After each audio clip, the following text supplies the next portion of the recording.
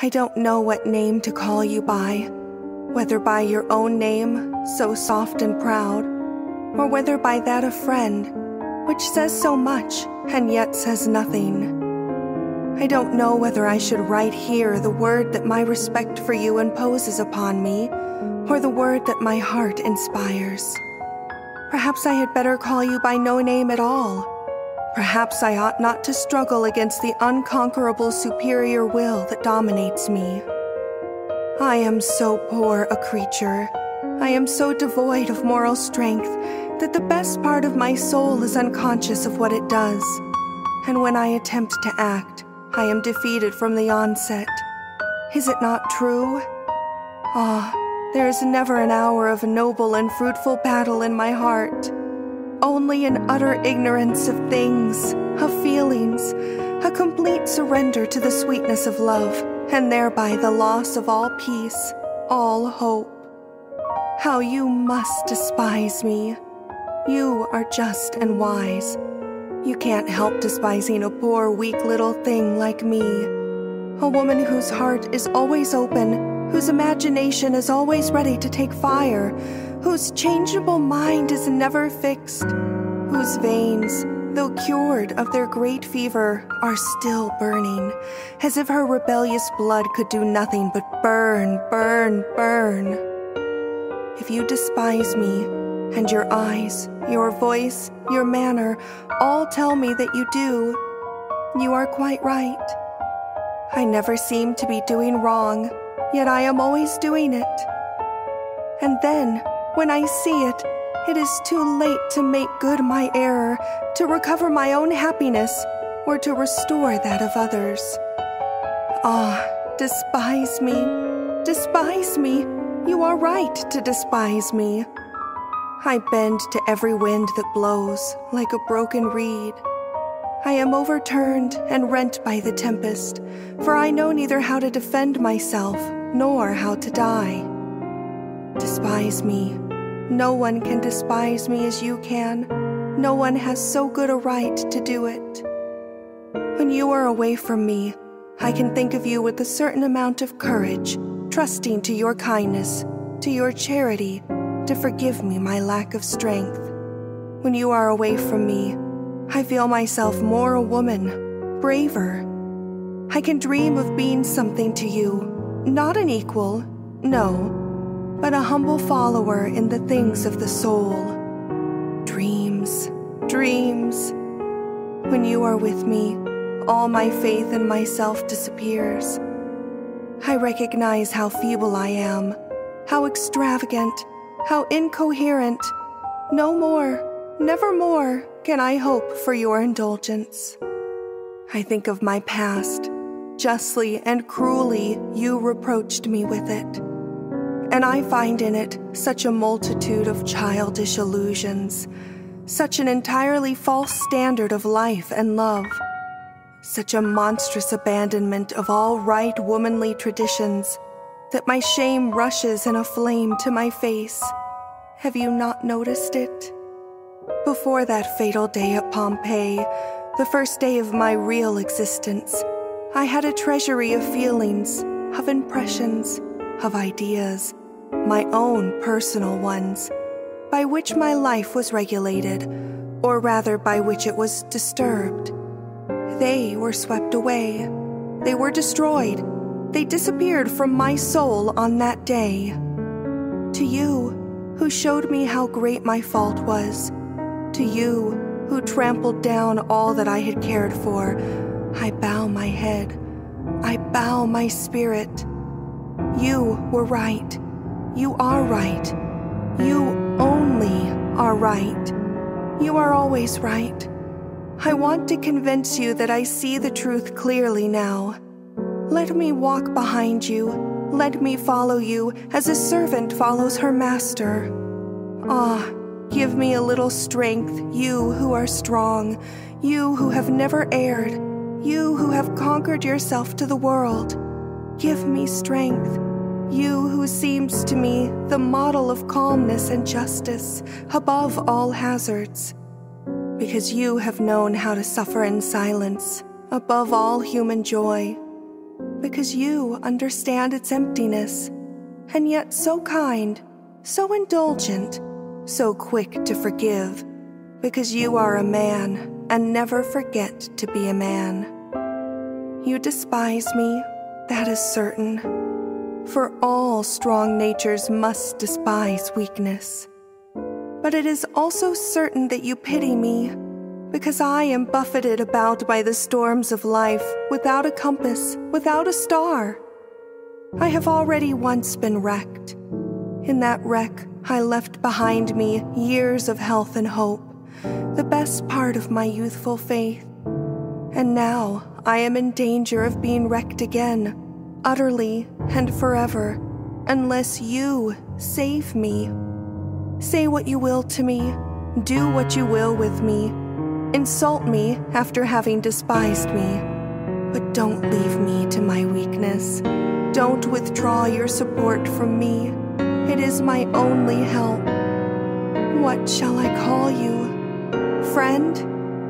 Friend, I shall be lost if you do not save me. If you refuse to allow my soul to follow yours, strengthened by your strength. If you cast me out from your spiritual presence, if you do not give me the support that my life finds in yours.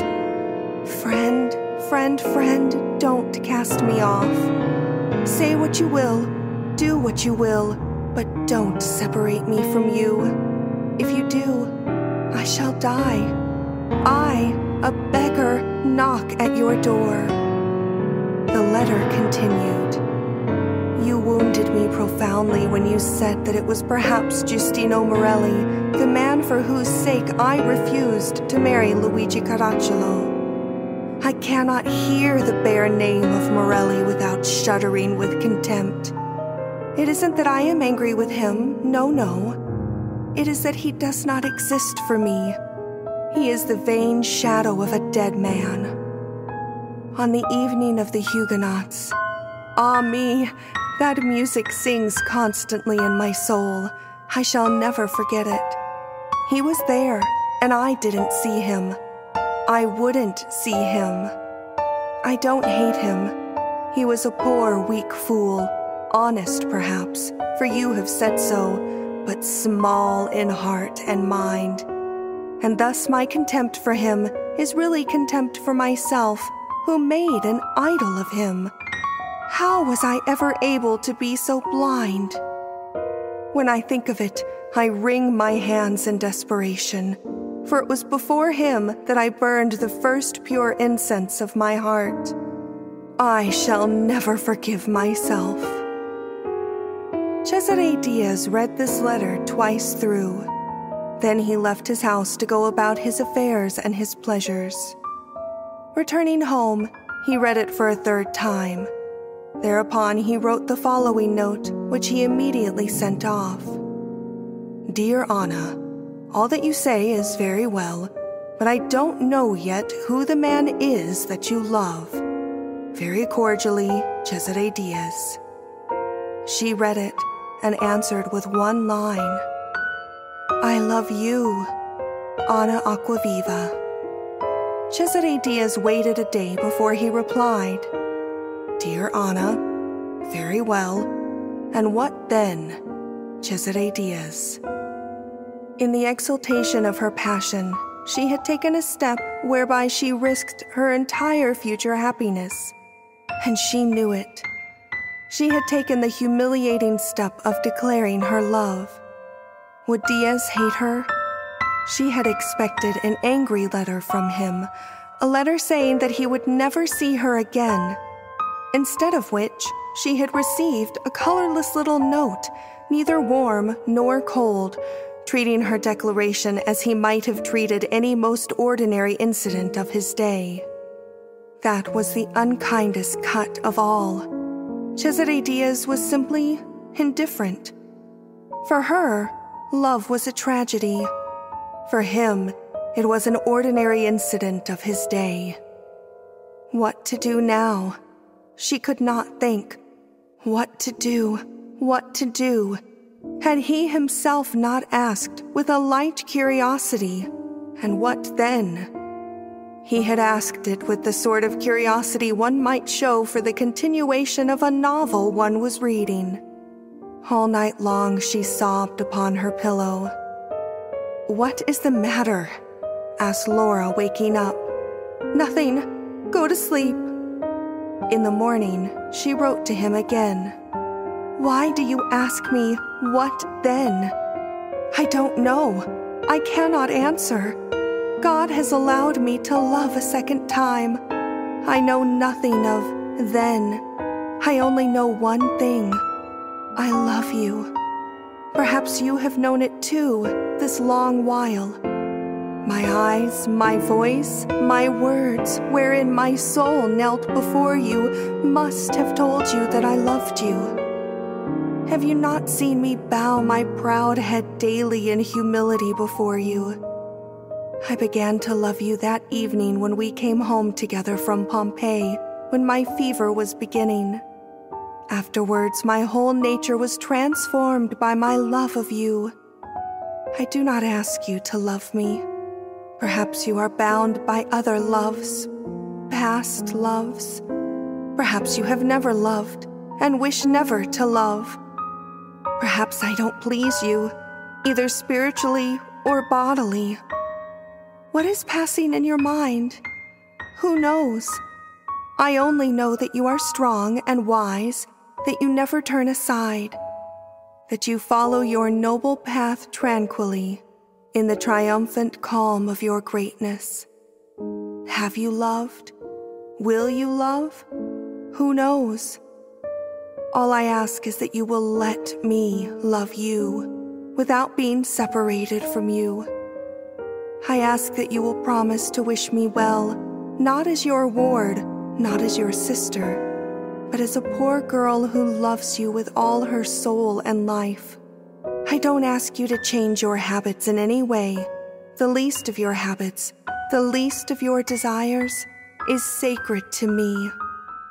Live as you have always lived. Only remember that in a corner of Naples, there is a heart that finds its only reason for existence in your existence, and continue from time to time to give me a minute of your presence. My love will be a silent companion to you. Are you not the same man who said to me, with a voice that trembled with pity, in that dark, empty room at the inn in Pompeii, while I felt that I was dying? Are you not the same man who said, My poor child, my poor child? You pitied me. You do pity me. You will pity me. I know it. I know it. And that is the then of my love. Don't write to me. I should be afraid to read what you might write. Ah, how I love you how I love you. Anna Acquaviva. Cesare Dias was very thoughtful after he had read this letter. His vanity, the vanity of a man of forty, was flattered by it. And Anna's love, for the present at any rate, seemed to be entirely obedient and submissive. But would it remain so? Cesare Dias had had a good deal of experience. Anna's he knew to be a proud and self willed character. Would it always remain on its knees like this? Someday, she would not be content only to love. She would demand to be loved in return. He did not answer the letter. He was an enemy to letter writing in general, to the writing of love letters in particular. And anyhow, what could he say? For two days he did not call upon her. On the third day, he arrived as usual at two o'clock. Anna, during these days, had lived in a state of miserable suspense and nervousness. What is the matter with her? Stella Martini asked of Laura. I don't know,